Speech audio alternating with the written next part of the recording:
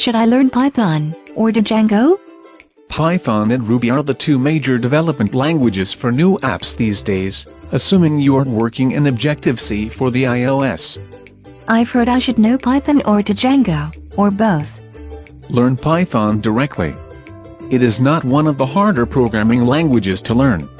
Yet Python plus Django is supposedly more powerful. Frameworks take the basic syntax of a language and add another layer of complexity.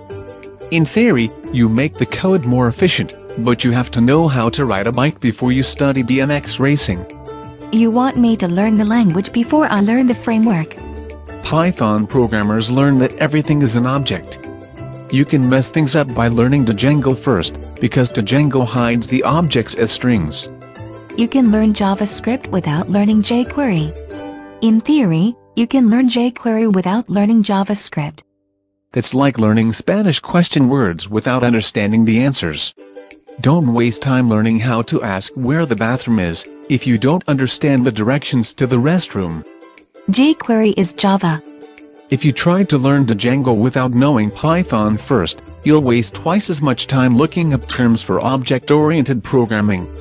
If you try to work with Django without knowing Python, you'll make design mistakes that are that much harder to fix. If I'm learning Python, I might as well learn the basics of the framework. Or the framework first. Settings Py is a critical Python configuration file, but you miss that if you start with Django. Programmers like using Python's built-in data structures, but you don't learn how to use that if you rely on Django. So you think I should learn Python first?